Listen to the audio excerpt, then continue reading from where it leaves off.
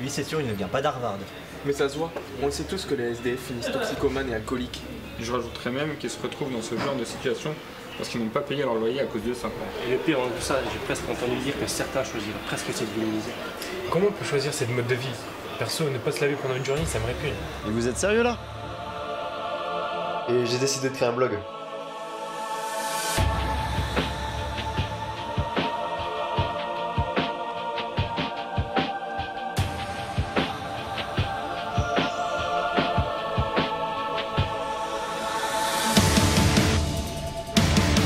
Je ne peux pas arrêter.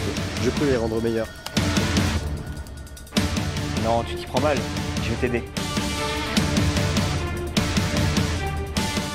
Tu peux pas changer le monde.